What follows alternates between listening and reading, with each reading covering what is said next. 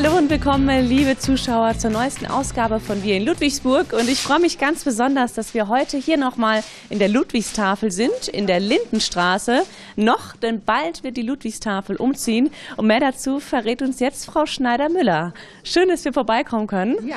Frau Schneider-Müller, Sie haben fast nicht mehr daran geglaubt, oder kann man sagen, dass Sie tatsächlich neue Räumlichkeiten finden für die Ludwigstafel?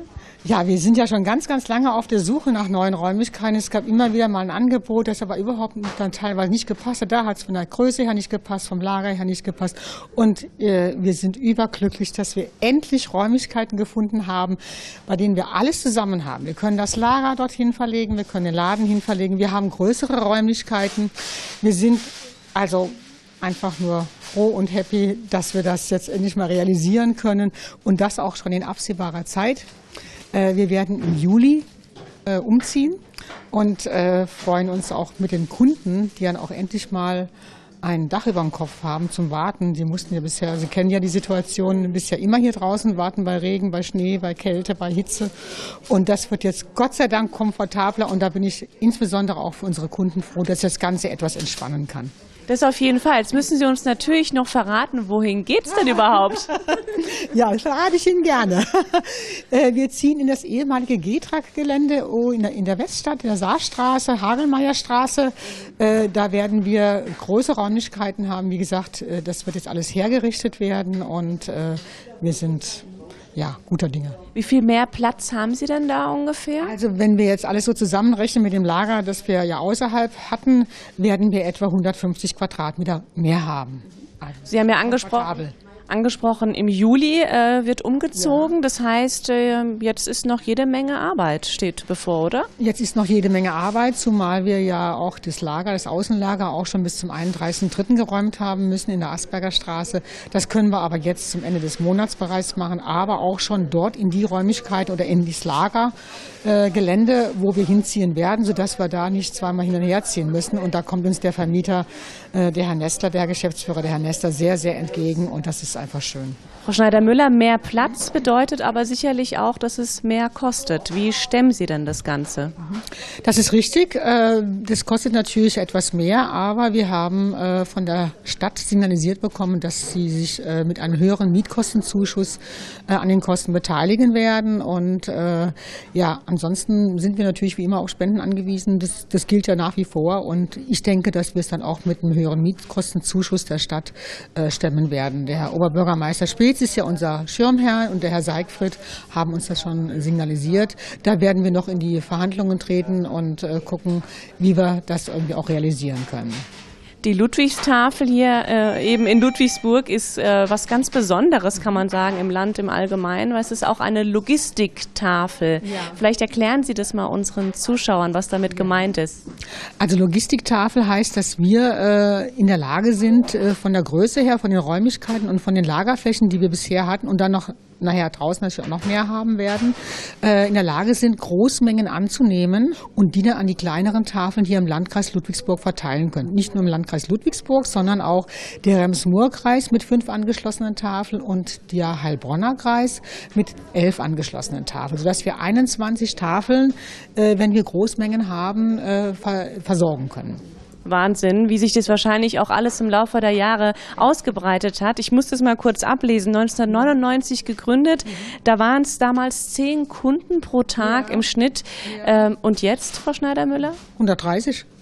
Also das ist schon, schon enorm. Also das, wir merken natürlich auch äh, den Zuwachs der Flüchtlinge hier bei uns, die bei uns einkaufen. Und äh, von daher ist es jetzt gerade höchste Zeit, höchste, höchste Zeit, dass wir endlich dann auch größere Räumlichkeiten haben und dass das einfach auch ein bisschen entspannter zugehen. Insbesondere auch für unsere Mitarbeiter, die vielen ehrenamtlichen Mitarbeiterinnen und Mitarbeiter, die hier tagtäglich zu uns kommen, die dann einfach auch ein bisschen komfortabler arbeiten können und auch einen Pausenraum haben. Vielleicht da noch mal kurz nachgefragt, der Zuzug von den zahlreichen Flüchtlingen. Wie hat sich das bei Ihnen insgesamt bemerkbar gemacht, Frau Schneider-Müller? Also das äh, macht sich bemerkbar, dass wir halt einfach mehr Menschen hier zu uns kommen, die einen Antrag auf so eine Kundenkarte stellen und äh, es ist halt so, dass dann draußen im Hof plötzlich ganz, ganz viele, insbesondere viele alleinstehende junge Männer stehen und äh, die dann halt alle auch hier natürlich auch mit hier einkaufen möchten und es ist natürlich so, dass die Sprachschwierigkeiten teilweise enorm sind.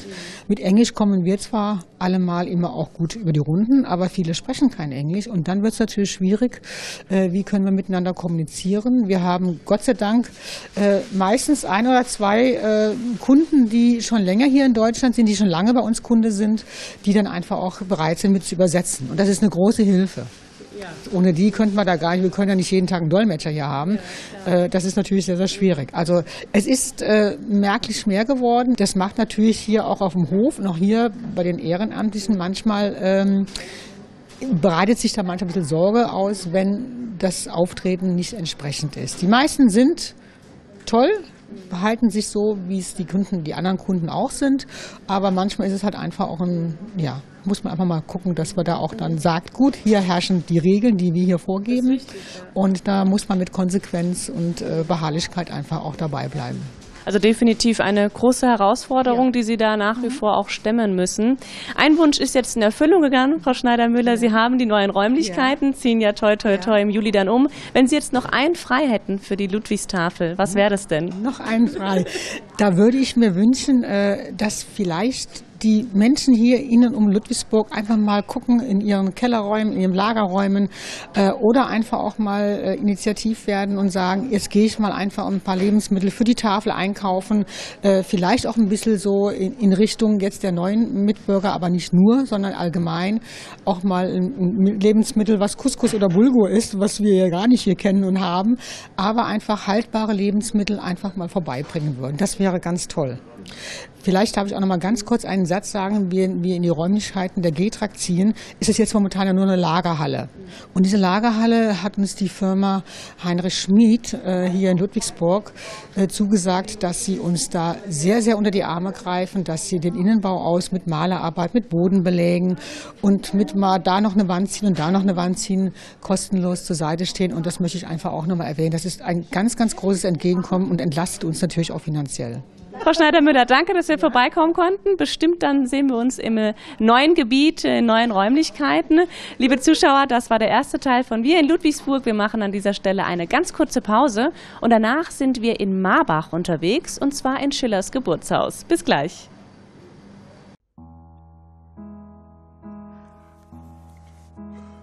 Das Wasser bis zum Hals. Wir brauchen auf jeden Fall Hilfe.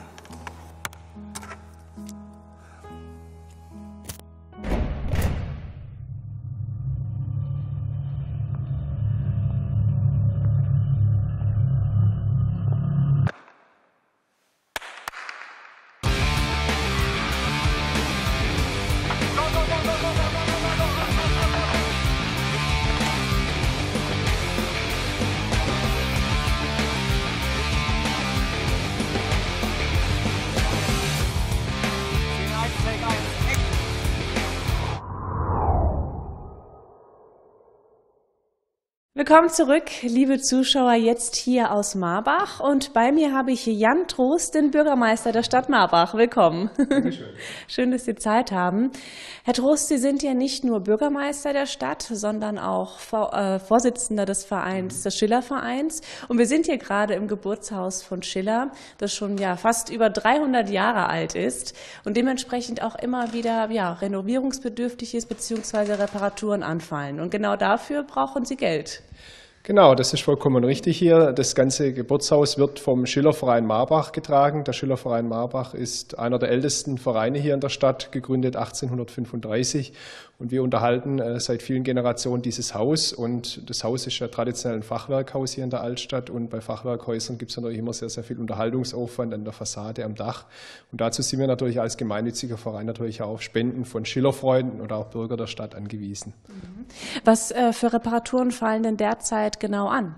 Also wir müssen einiges an der Fassade machen, am Fachwerk, am Sockel und aber auch am Dach und teilweise an einer Fensterscheibe, die ist kaputt. Das ist eine Spezialverglasung hier dann und da brauchen wir einfach Spendengelder. Wie werden die Reparaturen in der Regel äh, finanziert? Also es gibt den Schillerverein und es gibt auch Stiftungen, die bezuschussen. Genau, also wir sind sehr froh, dass wir äh, von Stiftungen bisher immer sehr großzügig bedient worden sind. Aktuell auch von der Denkmalstiftung Baden-Württemberg äh, durch einen namhaften Geldbetrag, aber auch als Denkmal des Monats Januar hier in Baden-Württemberg, aber auch von der Wüstenrot-Stiftung haben wir Gelder gekriegt und von der Kreissparkassenstiftung. Also wir werden sowohl von Stiftungen zum Glück sehr gut bedient, sind aber weiterhin auf Spenden aus der Bevölkerung angewiesen. Das heißt, Mitgliedsbeiträge und Eintrittsgelder, die reichen nicht, um das Ganze hier instand zu halten.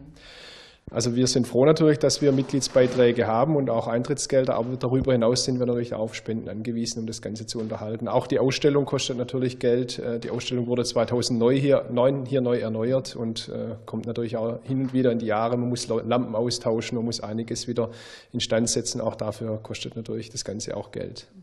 Die Stadt Marbach, kann man sagen, ist ja weltweit eigentlich bekannt. Immer wieder kommen hier Besucher aus der ganzen Welt her. Äh, umso wichtiger ist es, dass man so etwas dann auch ja, am Leben hält.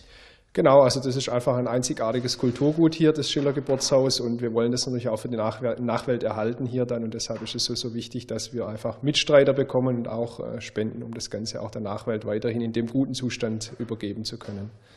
Thema Besucherzahlen und auch vielleicht Schülerzahlen, waren die in den letzten Jahren etwas rückläufig? Liegt es vielleicht auch daran, dass das Thema Schiller gar nicht mehr so präsent ist in den Schulen?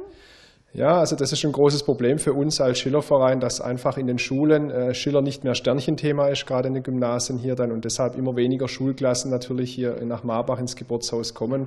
Und das ist für uns sehr, sehr schade, weil Schiller doch auch mit seinem Gedankengut in der jetzigen Zeit mehr als aktuell ist. Und wir hoffen natürlich, dass hier auf politischer Ebene wieder ein Umdenken stattfindet und Schiller wieder mehr in den Fokus auch der Schulen gerückt wird.